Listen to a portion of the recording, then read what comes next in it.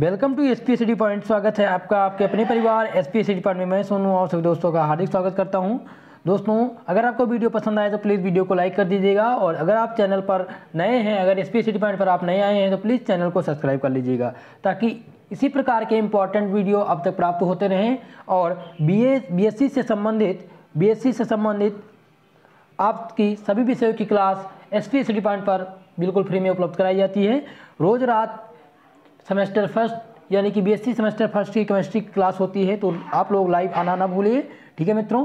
अब बात कर लेते हैं आज के इंपॉर्टेंट टॉपिक पर। देखिए, आज का जो इंपॉर्टेंट टॉपिक है, वो आपके पेपर पैटर्न को लेकर है। आपके पेपर पैटर्न को लेकर है। आपका पेपर किस प्रकार से आएगा, कितने नंबर का आएगा, और किस प्रकार के प्रश्न आपके पेपर में पूछे जाने हैं।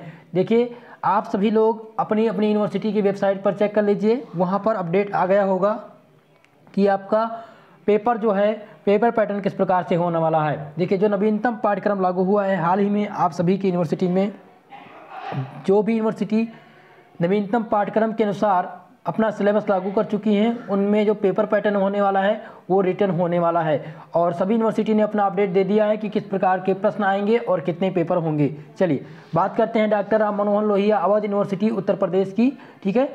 इसमें इन्होंने क्या अवगत कराया है? इन्होंने बताने का प्रयास किया है कि राष्ट्रीय शिक्षा नीति, राष्ट्रीय शिक्षा नीति 2020 के प्रावधानों के क्रम में स्नातक प्रथम सेमेस्टर यानी कि 2021-22 की परीक्षा के संदर्भ में जो प्रश्न पत्र का प्रारूप है, यानी प्रारूप है, जो प्रश्न पत्र आपके बनेंगे, परीक्षा व्यवस्थित संबंधा, संबंधित जानकारी इन्होंने दिया है तो इस प्रकार से आप सभी के यूनिवर्सिटी पर, आप सभी के यूनिवर्सिटी की वेबसाइट पर मिल जाएगा। ठीक है? तो आप सभी लोग वहाँ से देख लीजिए। चलिए, अब बात करते हैं इंपॉर्टेंट टॉपिक की।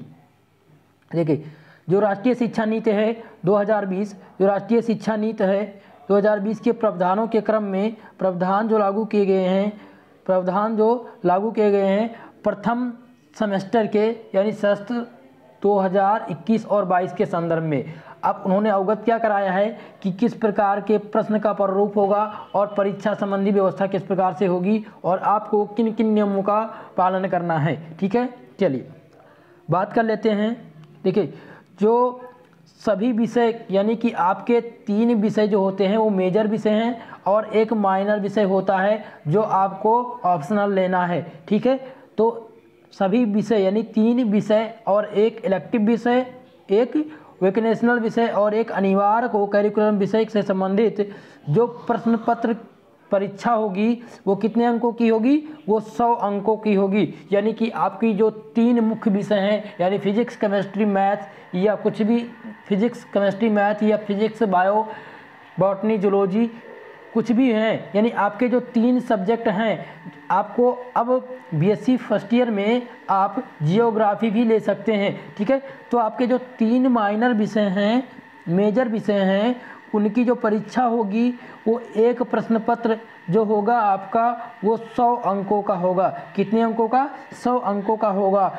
प्रायोगिक परीक्षा से संबंधित प्रायोगिक कार्य की परीक्षा भी सौ अंक की होगी। जो आपकी जो प्रायोगिक परीक्षा है, वो भी सौ अंकों की होगी। ठीक है? चलिए। अब आगे बात करते हैं।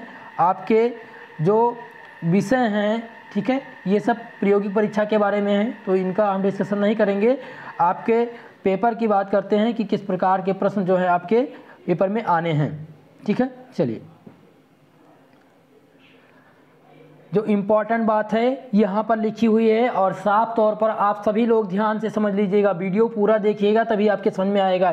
चलिए तीन जो मेजर विषय हैं और आपका एक इलेक्टिव विषय है, यानी उनका वाय मूल्यांकन से संबंधित परीक्षा व्यवस्था जो है, वो पचहत्तर अंकों की होगी। आपके जो इलेक्टिव विषय हैं, उनकी जो परीक्षा होनी है, वो पचहत्तर अंकों की होगी। यानी कि 25 नंबर जो हैं आपके, वो प्रैक्टिकल होंगे और पचहत्तर नंबर, यानी पचहत्तर नंबर की आपकी परीक्षा होगी। ठीक है? चलिए। अब बात करते हैं, देखिए यह परीक्षा प्रथम सेमेस्टर यह परीक्षा प्रथम सेमेस्टर के अंत में विश्वविद्यालय द्वारा निर्धारित समय सारणी के अनुक्रम में विश्वविद्यालय द्वारा प्रदान की जाने वाली मुद्रित प्रश्न पत्र के माध्यम से संपन्न करानी होगी, ठीक है? जो विश्वविद्यालय आपका प्रश्न पत्र जारी करेगा, वो क्या होगा? वो आपका परीक्षा होगा। जैसे आपका एक परीक्षा होता था लास्ट में, लेकिन अब सेमेस्टर वाइज यानी छमाही परीक्षा हो गई तो आपके प्रथम सेमेस्टर की जो लास्ट में परीक्षा होगी, वो कितने नंबर की होगी? वो पचहत्तर नंबर की होगी। यानी 25 नंबर आपके प्रैक्टिकल होंगे। 25 नंबर क्या होंगे? प्रैक्टिकल होंगे। ठीक है? दूसरी बात, इस परीक्षा के लिए प्रश्न पत्र का प्रारूप क्या होगा? यानी इस परीक्षा के लिए जो प्रश्न का प्रारूप होगा, वो क्या होगा? वो आपका होगा। प्रत्येक विषय के प्रश्न पत्र के लिए अधिकतम निर्धारित अंक कितने होंगे? 25 अंक होंगे। जो प्रत्येक विषय के प्रश्न पत्र के लिए जो अंक निर्धारित होंगे, वो पचहत्तर होंगे। कितने होंगे? पचहत्तर नंबर का आपका प्रश्न पत्र बनेगा। ठीक है? दूसरी बात, प्रत्येक विषय के प्रश्न पत्र के लिए परीक्षा की निर्धारित अवधि कितनी होगी? यानी समय जो आपको मिलेगा प्रश्न पत्र करने का, वो तीन घंटे का मिलेगा। दूसरी बात, आपको इंपॉर्टेंट बात है, प्रथम जो आपका प्रश्न होगा, वो दोनों लैंग्वेज में होगा, यानी हिंदी और इंग्लिश दोनों में भी प्रिंट होगा, ठीक है? जो आपका प्रश्न पत्र है, वो दोनों लैंग्वेज में प्रिंट होगा। अब आप बात करते हैं, जो आप सबके मन में शंका बनी हुई थी और ये दिक्कतें सभी के पास थी तो ये आप समझ लीजिएगा। मैंने मॉडल पेपर मैंने आपको बता दिया था, लेकिन वहाँ पर मैंने आपको पचास नंबर बताया था। जो आपका पेपर होगा, वो पचास नंबर का होगा। लेकिन इस बार जो आपका पेपर होना है वो पचहत्तर नंबर का होगा और 25 नंबर आपके प्रैक्टिकल होंगे। 25 नंबर क्या होंगे? प्रैक्टिकल होंगे। ठीक है मित्रों? चलिए। अब देख लेते हैं कि किस प्रकार से प्रश्न आएँगे आपके पेपर में। देखिए, आपका जो प्रश्न पत्र है, वो तीन खंड में विभाजित होगा। तीन खंड में विभाजित होगा। सेक्शन ए यानी खंड आ सेक्शन बी यानी खंड बा और सेक्शन सी यानी कि खंड सा। तीन खंड में विभाजित होंगे। अब बात करते हैं कि आखिर में आप स्क्रीन शॉट लेना चाहते हैं तो आप यहाँ से स्क्रीन शॉट इसका ले लीजिए। जल्दी से आप लोग स्क्रीन शॉट ले लीजिए और ये मैं आपको टेलीग्राम पर भी उपलब्ध करा दूँगा। चलिए। देखिए, जो खंड आ है, जो खंड आ है, इसमें प्रश्न किस प्रकार से पूछे जाएँगे? खंड आ यानी सेक्शन ए में दस प्रश्न होंगे। कितने प्रश्न? दस प्रश्न होंगे। सभी प्रश्नों का उत्तर देना अनिवार्य है। प्रत्येक प्रश्न के लिए दो अंक मिलेंगे। और उनको आपको 50 शब्दों में लिखने हैं। देखिए, जो पचा, आपका अत लघुत्तरीय प्रश्न आएगा, वो दो नंबर का आएगा और उसको आपको 50 वर्ड्स में लिखने हैं, ठीक है? ये सेक्शन ए की बात हो गई। सेक्शन बी की बात करते हैं, यानी खंड बा की बात करते हैं। खंड बा में आठ प्रश्न होंगे, आठ प्रश्न मुद्रित होंगे, यानी खंड सेक्शन बी में आपके आठ प्रश्न होंगे, जिनमें से पाँच प्रश्नों का उत्तर आप लोग को देना है। जिनमें से पाँच प्रश्नों का उत्तर देना है और प्रत्येक प्रश्न के लिए आपको मिलेंगे सात नंबर। प्रत्येक के लिए सात नंबर मिलेंगे और इनका जो आंसर है आपको वो 200 शब्दों में लिखना है। कितने शब्दों में? 200 शब्दों में आप लोग को लिखना है। अब बात करते हैं आपके लास्ट पॉइंट यानी खंड सा की बात, यानी कि लॉन्ग आंसर टाइप क्वेश्चन की बात करते हैं सेक्शन सी की बात करते हैं, ठीक है? तो इसमें चार प्रश्न मुद्रित होंगे, यानी चार प्रश्न इसमें पूछे जाएँगे, जिनमें से दो का उत्तर देना है और कितने शब्दों में? 500 शब्दों में। और जिसके लिए प्रत्येक क्वेश्चन के लिए आपको 10 नंबर मिलने हैं। प्रत्येक क्वेश्चन के लिए आपको 10 नंबर मिलने हैं। ठीक है मित्रों? तो ये सारी बातें थी आपके पेपर पैटर्न के बारे में। एक बार मैं फिर से रिपीट कर दूँ।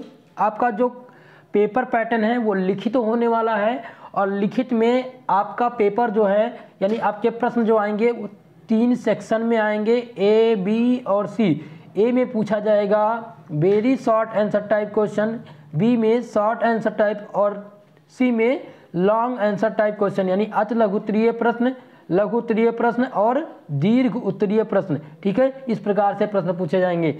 जो आपका अत लघु उत्तरीय प्रश्न होगा, यानी सेक्शन ए जो होगा, उसमें आपके दस क्वेश्चन होंगे और दो नंबर के होंगे।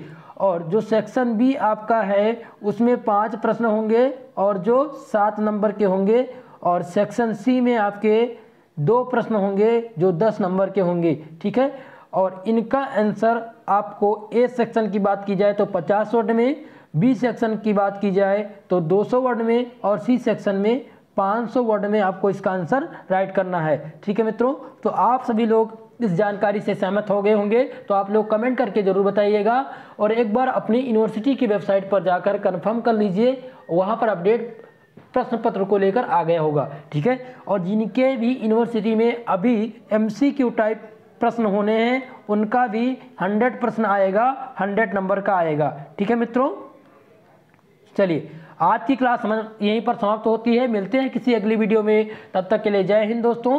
वीडियो आपको पसंद आई हो तो प्लीज़ वीडियो को लाइक कर दीजिएगा। चैनल पर नए हैं तो चैनल को ज़रूर सब्सक्राइब कर दीजिएगा।